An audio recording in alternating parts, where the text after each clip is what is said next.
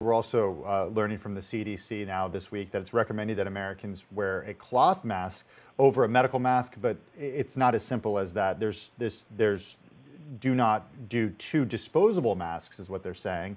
Um, should we be double masking? So at Johns Hopkins, Tim, we are not encouraging double hmm. masking. Hmm. And again, the science changes every day, and I agree with you, it is very confusing.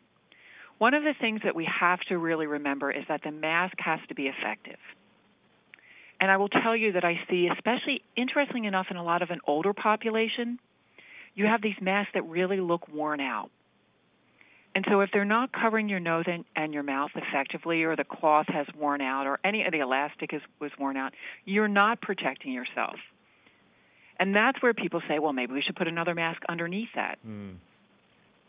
I, I don't know that I can make that decision today, but I will tell you one of the things I see when people do double mask is they get less vigilant about their social distancing.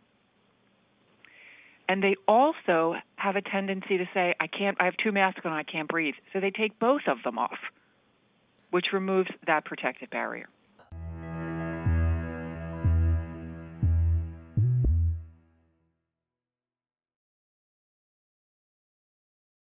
The biggest stories the moment they happen from around the globe. Subscribe to Bloomberg Quicktake now for insight in an instant.